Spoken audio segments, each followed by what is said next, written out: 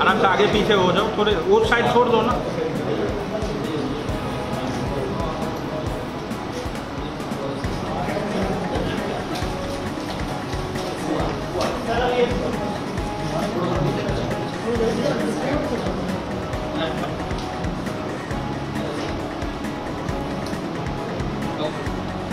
एक number ma'am ma'am एक minute ma'am अपने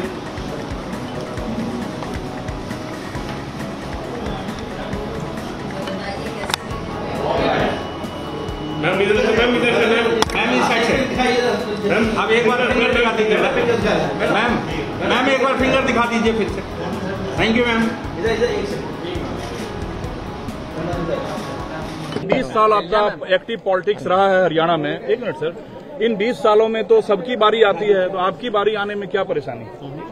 किसी को कोई परेशानी नहीं है। पार्टी हमारी बड़ी पार्टी है नेशनल पार्टी है और ये फैसला हमारी पार्टी हाईकमांड करता है। ये हमारी परंपरा है। आज मैम फाइनल एक तरीके से फाइट है। ये फाइट कितना किस्मत बदलेगा हरियाणा का भी और आपका भी? हरियाणा की किस्मत बदलेगी ये फाइट और ये कॉन्टेस्ट जो है वैसे तो मैं कहूँगी कि एक तरफा मामला है हरियाणा में आज के दिन और लोग दिखा भी रहे हैं तो भाजपा आपके लिए वेलकम ग्राउंड क्यों हरदम तैयार हाँ है? क्योंकि वो खुद इतने कमज़ोर हैं।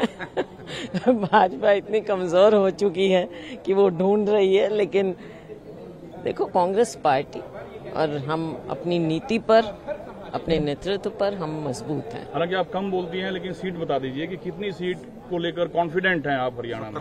हम हाँ मतलब देखो जैसे मैंने पहले भी कहा था कि जैसे जैसे दिन आगे बढ़ते हैं स्थिति और ज़्यादा बेहतर होती गई है और बहुत बढ़िया ढंग से हम हम जीतेंगे और 90 की 90 सीटों पर हम जीतने के लिए चुनाव लड़ रहे हैं। हिसार को लेकर क्या कहना क्योंकि मैंने जितने हाँ। लोगों से यहाँ बात की सब जो है सीवर और वाटर लॉगिंग और गंदगी से मेरे घर के बाहर भी।